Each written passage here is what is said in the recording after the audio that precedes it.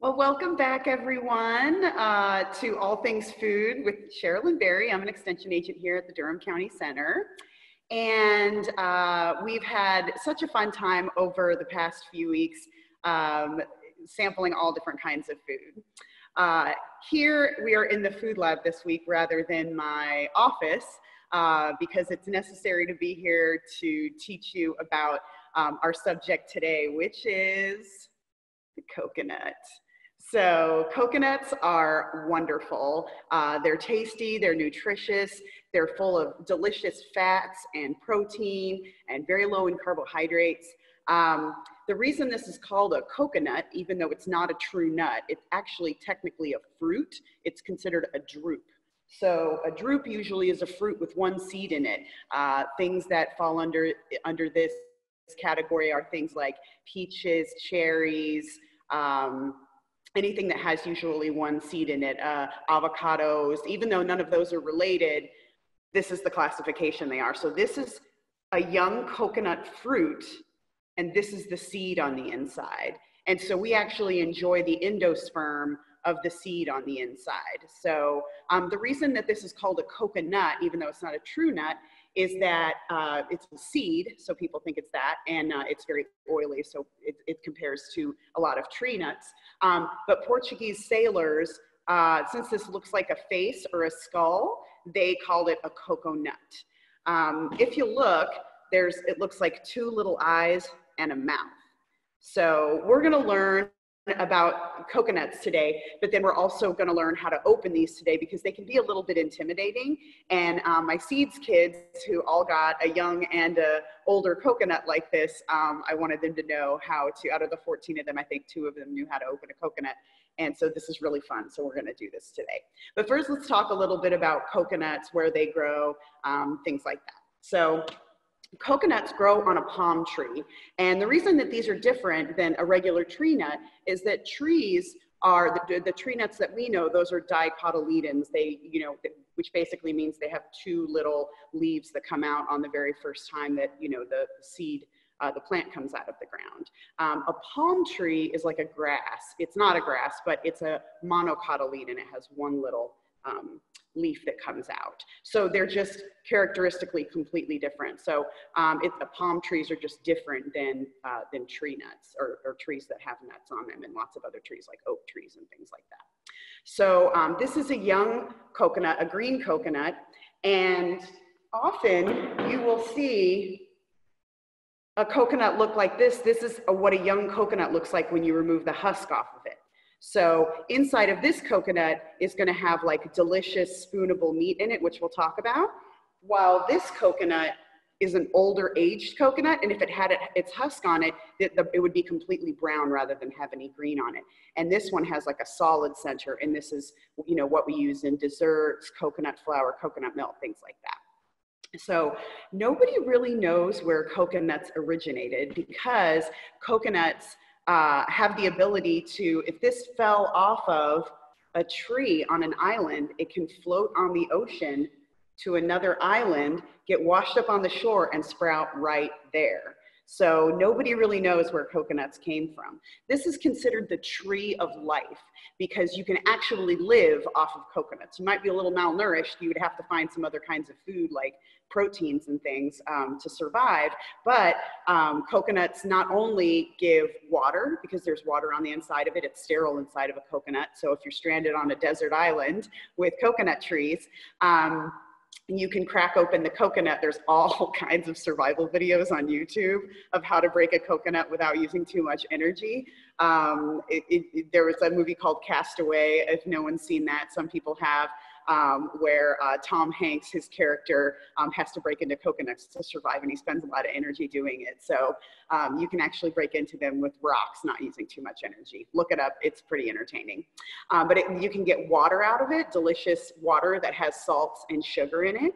Um, you can get food off of it by eating either the soft gel on the young coconut or the, um, the coconut endosperm on the inside once, it's, once it solidifies. Um, you can also, this husk on the outside, when it dries, it actually, um, you can peel this off and weave rope out of it. the tree can be knocked down, the palm tree, and you can dig it out to make a canoe out of it. You can burn the husk and make charcoal out of it. Charcoal is a, a big uh, beauty product right now. You can get charcoal toothpaste, charcoal soap, charcoal, you know, teeth whitener. You can get all kinds of things with charcoal in it, charcoal face masks. The most common form of charcoal that you'll find in the beauty industry is actually burning this husk down to just the charcoal and it's used in beauty products. So um, this is, and, and really there's just so many uses for coconut. Give it, you know, give it a web search, you'll see. It's, that's why island communities call this the tree of life. Um, also, Pacific Islanders um, were expert uh, canoe makers and expert sailors. And so they actually discovered all of these islands and populated all of these islands in the Pacific by just going out on a canoe and, fig and figuring out where to go, navigating by uh, starlight. It's really fascinating. And these peoples would bring a coconut or multiple coconuts and leave them on the shore and they'll sprout and within seven to 10 years, you have a full tree that can get up to 100 feet high and give you between 30 and 75 coconuts a year. So um, what's great about these is the tree can also drink brackish water. It can absorb brackish water, which is salty and fresh water mixed together, or it can live off of salt water. And that's really rare for plants. Plants usually die if you pour salt on them. So uh, coconuts are really fascinating. Um, however, if you're on the beach, I don't recommend putting your uh, towel underneath a coconut tree because they can fall. Coconuts don't usually fall individually. They actually fall in, uh, in big uh, groups, like uh, five or six or eight of them together in clusters. Um, and there's an urban legend out there that uh, more people are killed per year by coconuts falling than are killed by sharks, which is not true actually. Um, you can look it up. Uh, there, somebody did a study and said that 150 people per year uh, die by coconut, falling coconut, and, and that's not true. So, but since we don't have a, um, a vocabulary word for the day, this is the public service announcement I would like to share with you. Uh, and one thing that I really love about um, good public service announcements is that they're memorable. And this to me is memorable. So it's got it in multiple languages, beware, falling coconuts, and then these here. But for some reason, there, there's a kid and what looks like a mom and a dad. For some reason, the dad has a big lollipop, and they must have really angered this tree because for some reason, the coconuts are not falling along gravity. They seem to be pitching an individual coconut at each person on this uh, public service announcement. So I saw this and thought it was hysterical and really wanted to share it with you. But it's a good public service announcement. Stay away from coconut trees. Don't hang out under them for a considerable amount of time. One little anecdote before we get into breaking a coconut open. Um, uh, you know, through the uh, previous talks that we've done, most of you know that I lived in, in the tropics for a time. And uh, I used to watch this person, the same um, man, I never really met him, but he would in my neighborhood, because I lived about a half a mile in from the ocean, and he would take his belt off and wrap the belt around the uh, coconut tree and climb up it, leaning against it, all the way up like a 75 foot coconut tree and take coconuts off the tree and put them in the back of his truck. And then I would see that same man at the farmer's market and he would, while you were standing there, cut all of the husk off the coconut and then cut the top off. And he had gone somewhere in the jungle and gotten these large leaves that he would cut the stem off of that was totally hollow. So for $2, you could get the freshest coconut that I've ever had. It was really fantastic. $2, it was great. He'd cut the top off and, uh, and drop that natural straw in there and you could walk around the farmer's market drinking out of a fresh coconut. And it was free. The guy made money off of just nature. I thought that was fascinating. So, okay, without further ado, let's mess around with these coconuts. Okay.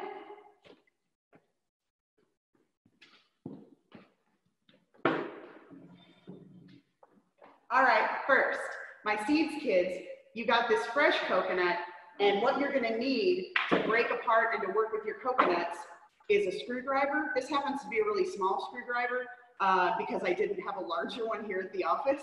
So I'm gonna work with what I got. Um, and then also a hammer. Um, if you don't have a hammer, you can go and find a big rock outside. Uh, but we're gonna work with a hammer today. So to get into your little, your, your fresh coconut to drink out of it, you're gonna just take your little screwdriver, make sure you wash your screwdriver first, get it really clean, because this is food. And you're gonna set it there, and you're just gonna make a hole in coconut. And you can move it around. Now your coconut came with a straw, but you really have to get make a big hole in there. And since mine's really small, I'm gonna put one of these little little straws in there. So it's really good. Okay, so that's the first coconut. Now, if you want to get the gel on the inside, what you have to do is get yourself a serrated knife, okay? And you're gonna cut the top off the coconut. It's a little bit time consuming and you gotta be really careful because there's that hard inner shell. And this is the gel on the inside. Now this coconut is not a fully mature coconut, but it's also not a fully fresh coconut because this would be like jello. And this is actually soft, like kind of like a hard pudding a little bit. It's not as hard as a hard coconut, but you can tell it's probably in the grocery store for a while. Because this is a dormant seed, but it's still maturing.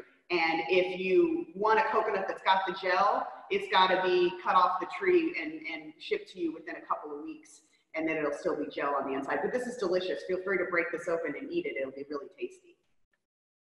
So for our mature coconut, what we're going to do is um, we're going to take, so our two little eyes in our mouth, we're going to poke holes in these two eyes, and you can poke a hole in the mouth if you want, if you want, because we have to get the water out of it. Now, you don't have to do this step.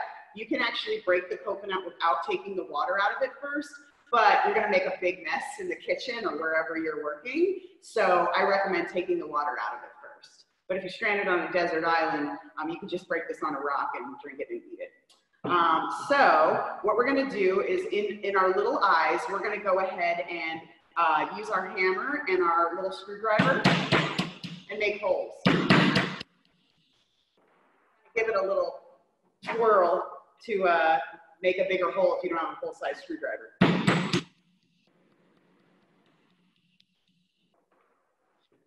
Okay, so you've got two little holes. I'm gonna go ahead and make three since I have a tiny screwdriver. It, what it'll allow it to, to do is one hole will release the water and the other two will intake air um, so that the moisture comes out of it faster.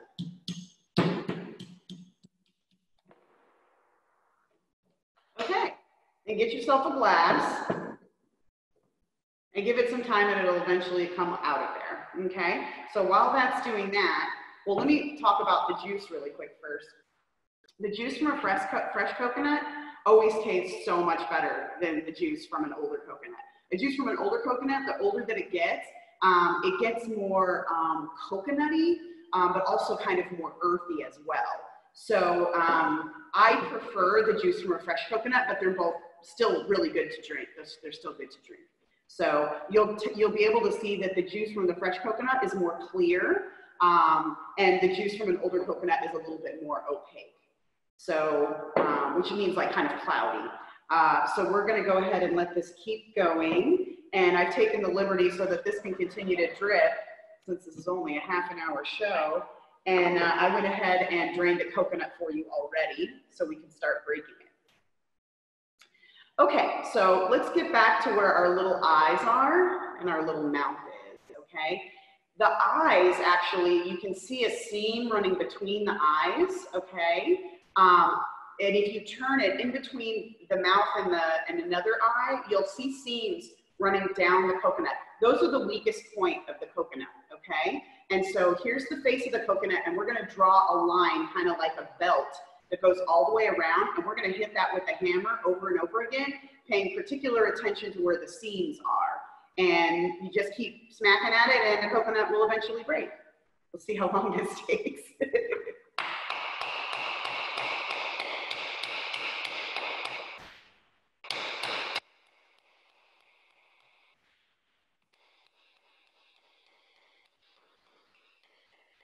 like an intermission. Ooh. That guy's cracking. Okay. So there's your coconut.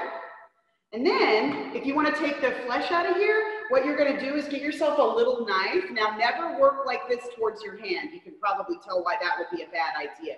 Sharp object and your hand is in front of it and you're cutting towards yourself. So set your coconut up on the table. Get the stuff out of there first so you have kind of a clean area. And then what you're gonna do is you're gonna cut along the edge like this, cut a little piece, and then pull it out. Okay, just like that. You just keep going around and you pull it out, okay? And you just keep going all the way around the edge. Actually, in the Philippines and Thailand, they actually have these really cool little knives that kind of shape upwards to a point, and those are really effective. But you can just do this with a paring knife at home. Just like that. So these are absolutely delicious. All right, so let's talk about some of the products that these that make that go from coconut into products. So this juice, ignore the brand names because it doesn't matter. The stuff's all the same. So ignore that brand name. Okay. This coconut water comes from a fresh coconut. Now, you'll hear people. I'm sorry, I breathed in some coconut. Um, you'll hear people say that coconut water is this like, you know, amazing beverage that has um, that's um, isotonic, that it has the same salts as your body, and that it has all these medical benefits. There's no research to prove that, but it is delicious and, and has vitamins and minerals in it. Um, and it will rehydrate you if you're really, really thirsty. So this is a lovely, lovely product. I enjoy that, but all the different brands are great.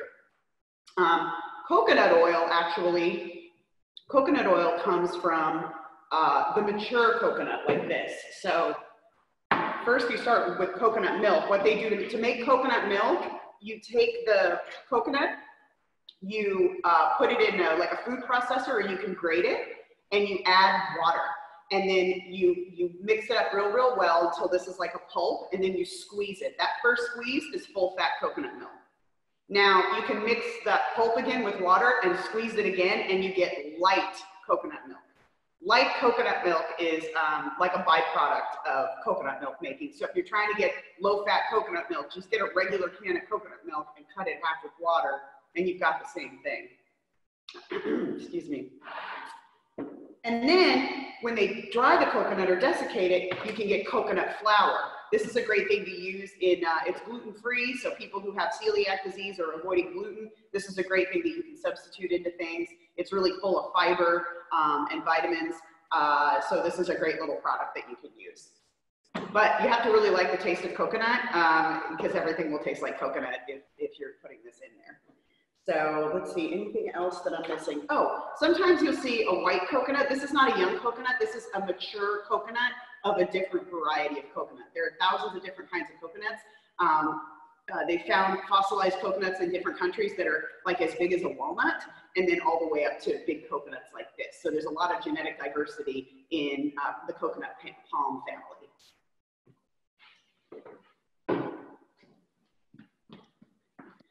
Okay. All right. So that's coconut, a good coconut vision. Uh, if anybody wants to ask questions about coconuts or anything else, please do. It's hard to talk when you're on mute. Uh, so our first question is a nutritional question about cholesterol. Um, did coconut products have a lot of cholesterol, particularly coconut oil? Great question. You got to know that cholesterol is actually only comes from animals. So this is an advertising thing that I think is hilarious. Uh, you'll go into like the produce department and on an avocado, it'll have a sticker that says 100% cholesterol free. Well, yeah, because cholesterol only comes from animals. Um, plants have plant sterols, which actually don't raise your cholesterol. Um, one of the reasons you might be asking this is that coconut oil got a bad name in the 80s. And the reason was, is because they said, oh, avoid coconut oil, it's full of saturated fat. It's true, saturated fats are solid at room temperature, butter, lard, coconut oil, stuff like that. But coconut oil is in a different class because it's a plant fat. And uh, actually, this, they did do a study on coconut oil and it raised people's cholesterol when they consumed a lot of it. But then you look back to that study and they used hydrogenated coconut oil. Hydrogenated coconut oil or any hydrogenated oil is a trans fat. And now with more modern science, we know that trans fats, no matter what their source what is in the beginning, will raise your cholesterol, even though they don't have cholesterol to begin with if it's a plant oil. So, um, you know, things like Crisco, sorry to use a brand name, but that's the sort of like Kleenex is a brand name, but people use it as a, you know, hydrogenated fat that you would use to fry in. If the fat is hydrogenated, it doesn't matter what source it came from um, it will raise your cholesterol because it's a trans fat. Whereas that oil, if it wasn't hydrogenated, wouldn't necessarily raise your cholesterol. So that's an excellent question. Now, just from your uh, your questioner, a follow up question. This is not from the audience, but how do you know if it's hydrogenated or not when you buy it? Yeah, so uh, if you buy a food that is common for the Americans to consume, most hydrogenated fats have been removed from, from foods in general.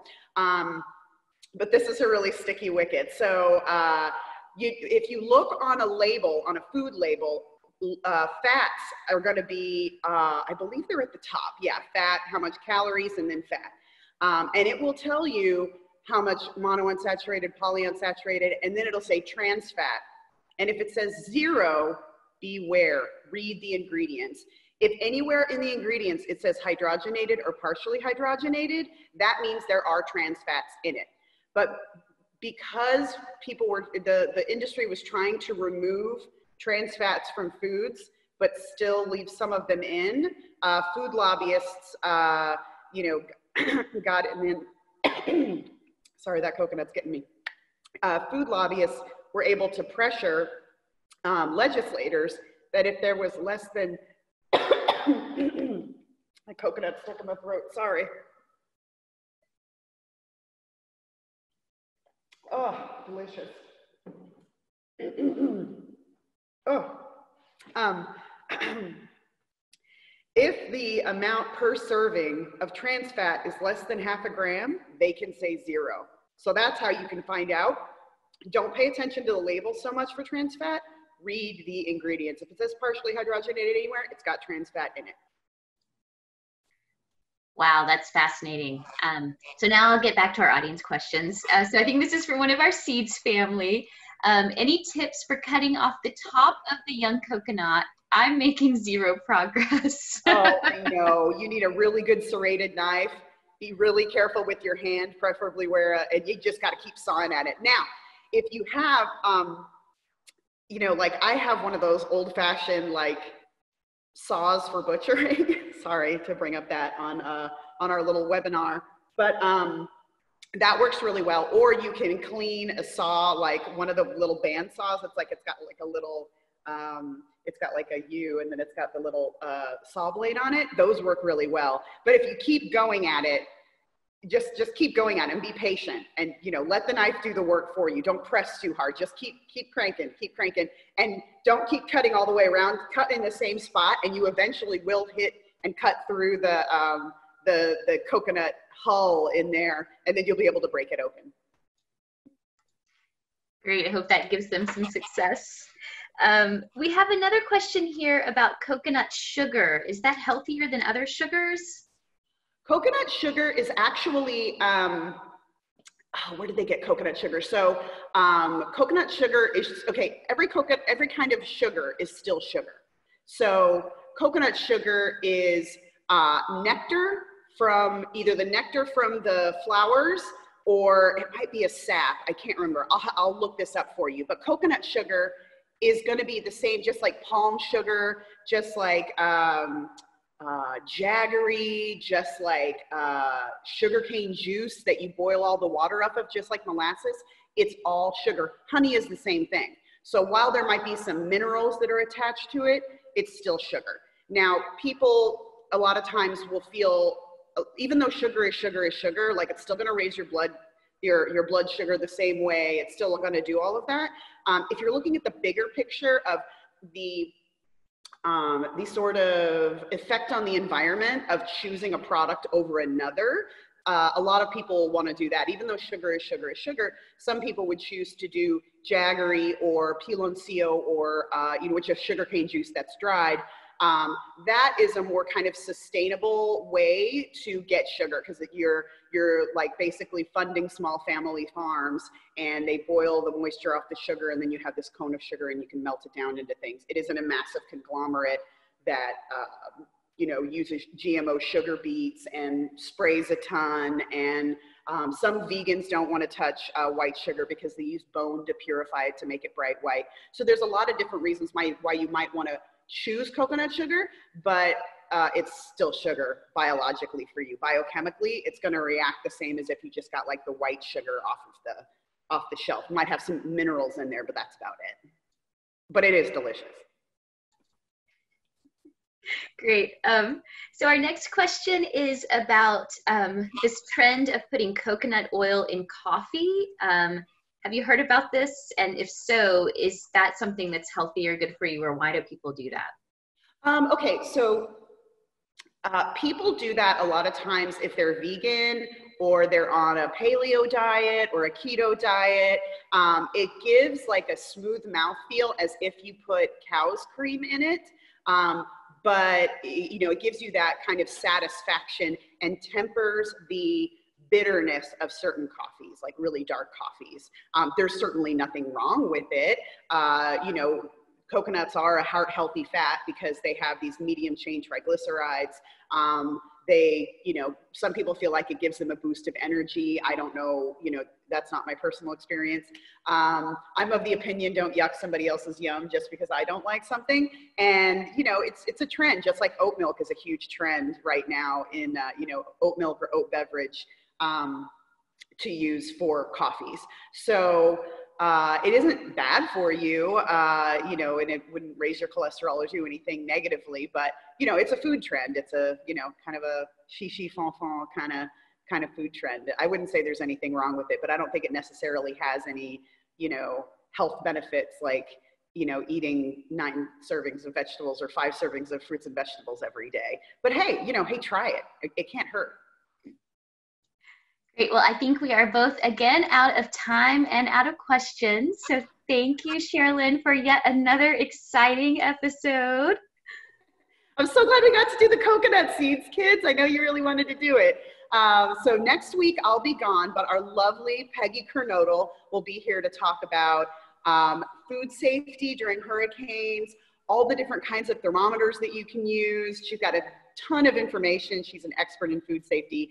And, uh, and then because I'm taking a week off, I'll be back the week after. Not sure exactly what we're gonna, what we're gonna uh, do for that week, but again, I, I, I go by when I walk into the, um, the produce department to see what looks good that day. Awesome. Thanks, Cheralyn. And thanks everyone for joining us. Bye. Bye.